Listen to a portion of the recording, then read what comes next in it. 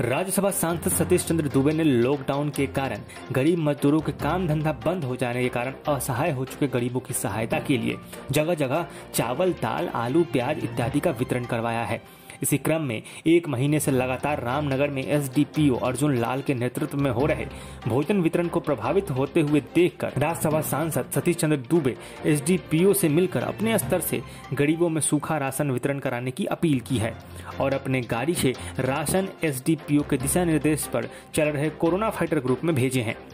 राज्यसभा सांसद ने सहयोग राज्यसभा सांसद के सहयोगी नन्हुक पांडे ने बताया कि सांसद जी लगातार गरीबों के सहायता के लिए घर घर जाकर राशन बांट रहे हैं और रामनगर अनुमंडल पुलिस अधिकारी के सराहनीय पहल पर धन्यवाद देते हुए राशन एसडीपीओ सर के नेतृत्व में वितरण करने का अपील किए हैं।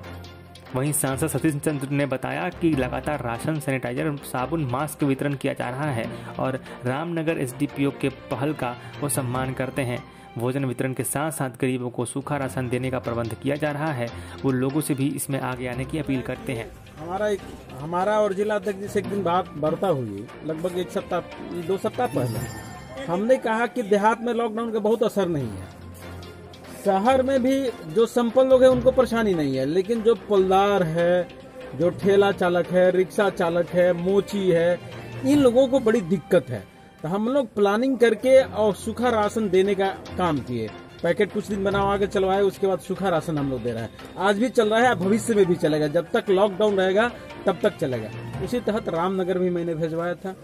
और अनुमंडल पदाधिकारी भोजन की व्यवस्था, जो पुलिस पदाधिकारी हैं, भोजन की व्यवस्था जो उन्होंने किया है उसमें भी कुछ भिजवाना था भिजवा दी।